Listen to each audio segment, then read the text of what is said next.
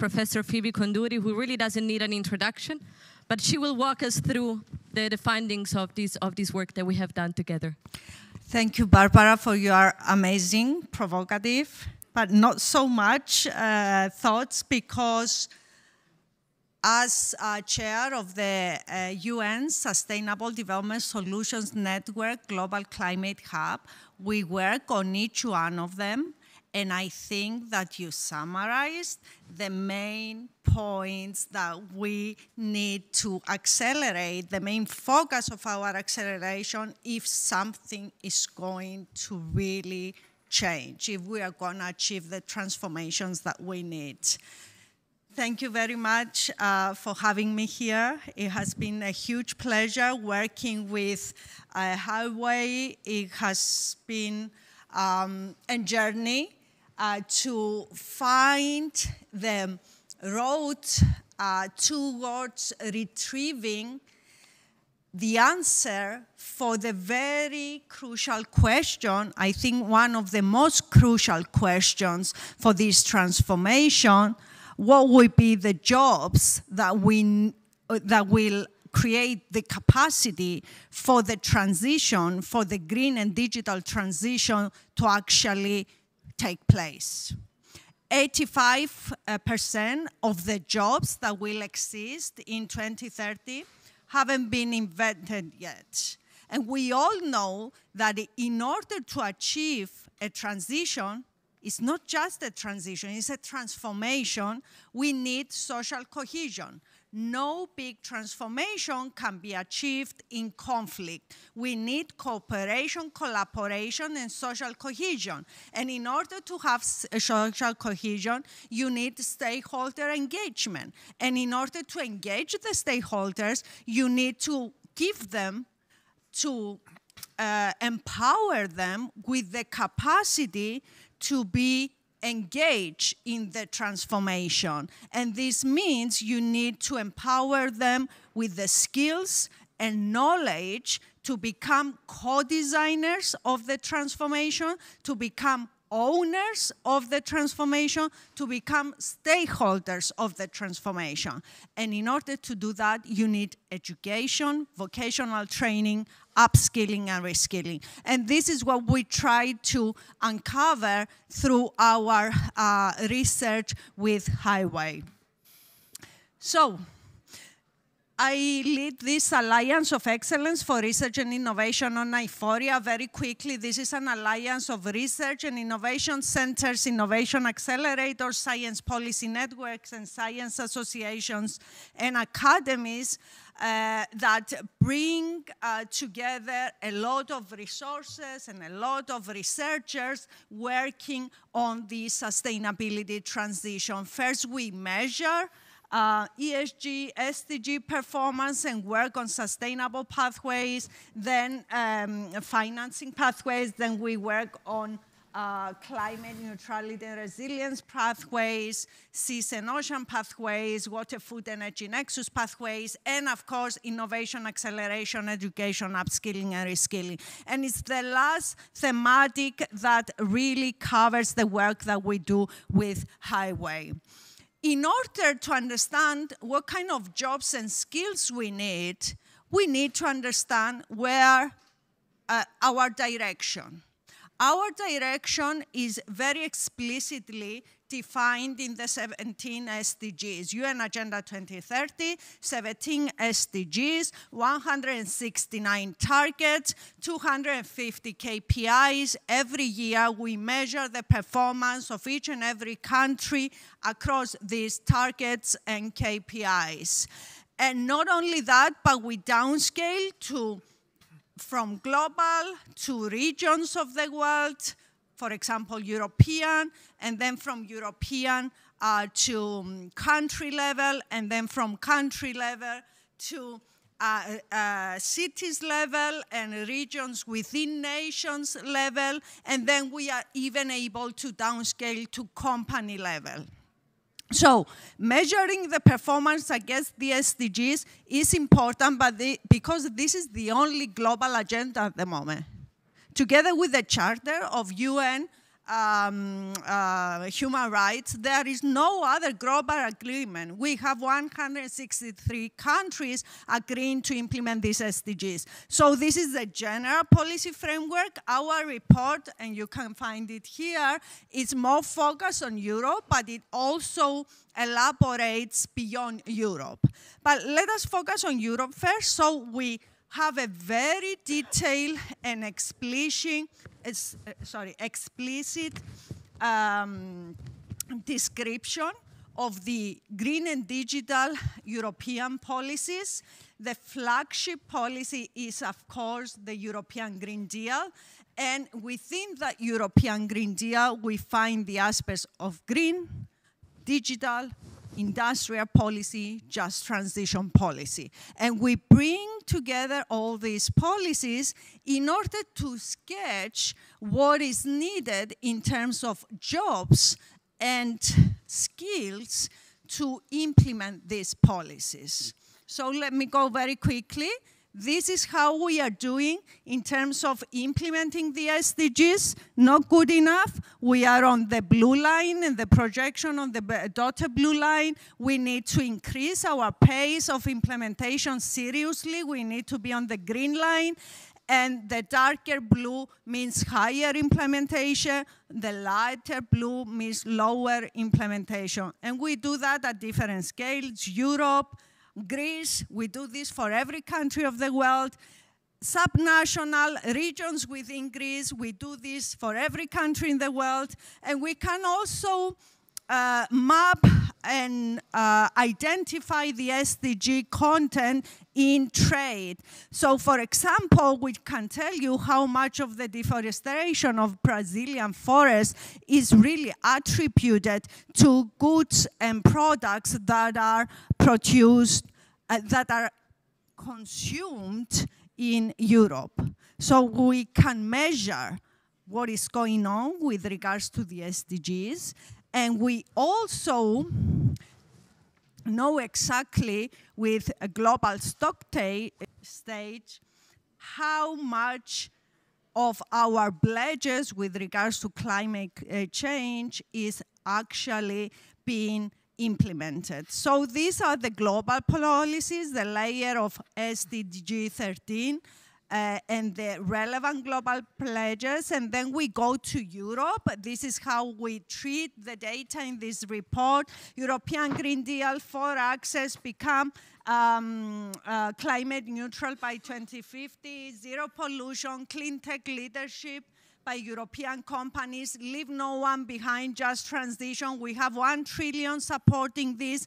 And in addition to this one trillion, for the different aspects of the European green policies, we have Next Generation EU that was launched after COVID to help Europe become, recover from COVID in a green and digital way. And there is where green and digital was explicitly identified. So what does green and digital future means? A green and digital future means that we invest in decarbonizing power generation and industry, promoting circular economy, protecting and restoring biodiversity, and strengthening sustainable mobility. What is digital? Improve cybersecurity, deploy cutting-edge technologies, helping deploy digital skills and improving connectivity. So these are the skills we need to uh, empower our labor force in order to implement the green and digital transition and to further um, articulate the transition. Europe has a climate law, the first time that the obligation to become climate neutral by 2050 is now a legal obligation. 55% uh, reduction of greenhouse gas emissions uh, compared to what we have in had in 1990 and climate neutrality 2050. In addition, we have the stream, um, streamlining of capital towards sustainable investment. This is the EU taxonomy.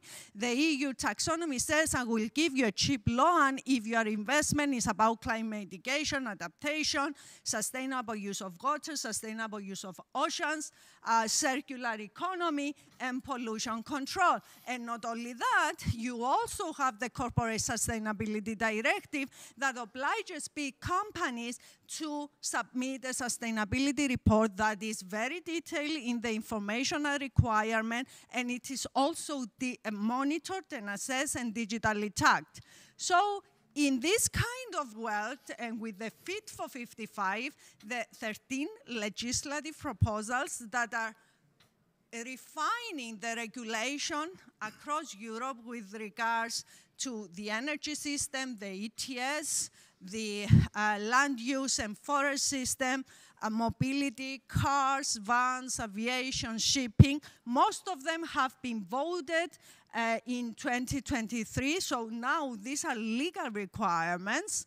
We have a big um, framework a big regulatory, legal, and policy framework which basically tells us what are the skills and occupations that we need in order to implement. And together with the green and digital policies, you need to add, to add the digital policies of Europe.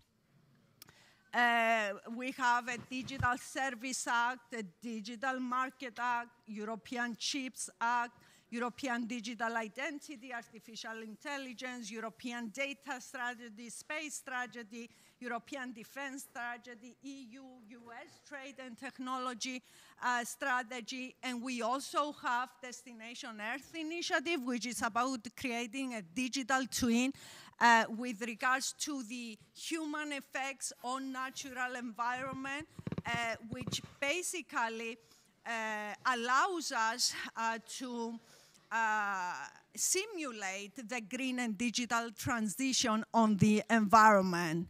And we also have the industrial policy that is focusing on accelerating the twin transitions. So what we did, we put together all these policies in an AI-driven, uh, data-driven uh, method methodology, method, not methodology, but method, and we've identified the new set of green and digital skills.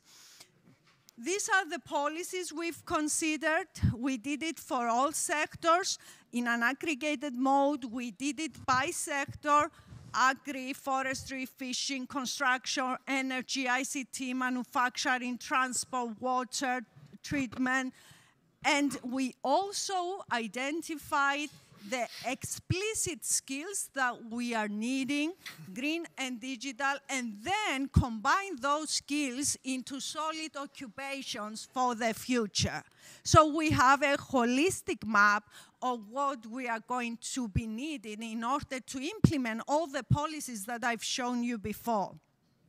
So it's a data-driven framework that allows us to classify skills, knowledges, knowledges, occupations in the EU labor market. We find that the demand for occupations with a high green and digital score has significantly increased since 2015 in all sectors.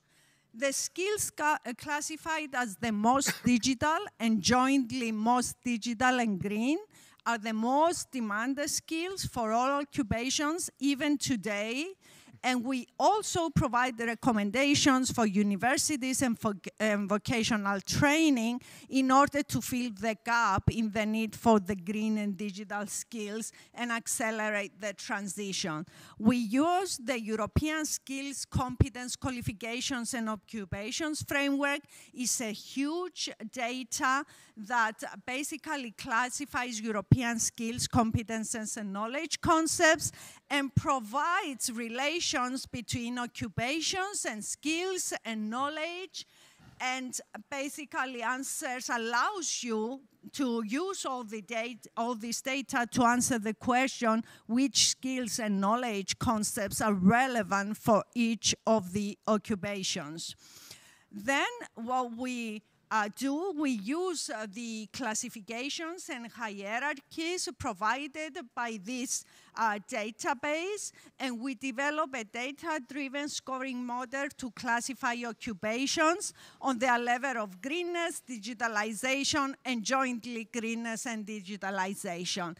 And we have an explicit uh, ranking of the most uh, needed um, occupations in the green sphere, in the digital sphere, and combine in the green and digital sphere. For example, smart home engineer, smart home installer, geothermal technician, green ICT consultant, but I will let you look at the report because it's very detailed in the data analysis. We also find that employment growth of green and digital skills is very strong, and we have a significant effect on employment growth in art and recreation sectors, finance and insurance, ICT, professional services, manufacturing, and energy supply services. We also do an analysis of uh, the advertisements, current state of advertisements, job openings, and we find that the top green and digital skills and knowledge concepts are among the most requested skills in online job uh, advertisements. So again, a second confirmation of the validity of the green and digital skills we have identified as the most wanted ones. Finally, the recommendations for universities and vocational training. We need our universities to restructure, to transform their curricula. They need to be more holistic, more integrated in order to support the sustainability transition, and they need to be more focused on the new jobs that are going to be created that are able to support and empower the green and digital transition. And we give recommendations by sector, the financial sector, mainstreaming ESGs and enhancing, enhancing ESGs and SDG matrices.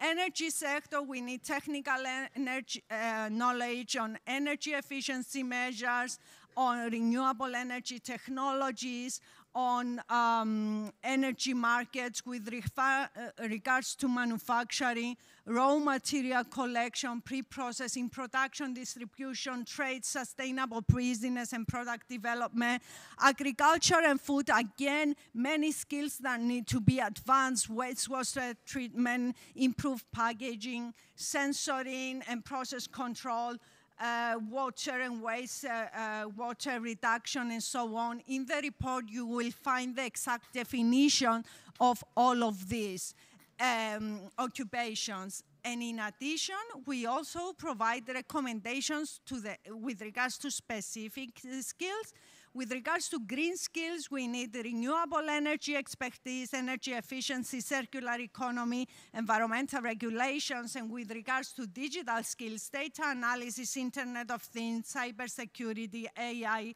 and machine learning all is detailed in the report. I don't have time to uh, explain in detail and communicate in detail the wealth of information there, but you can look at the report um, the, to scan the idea of the report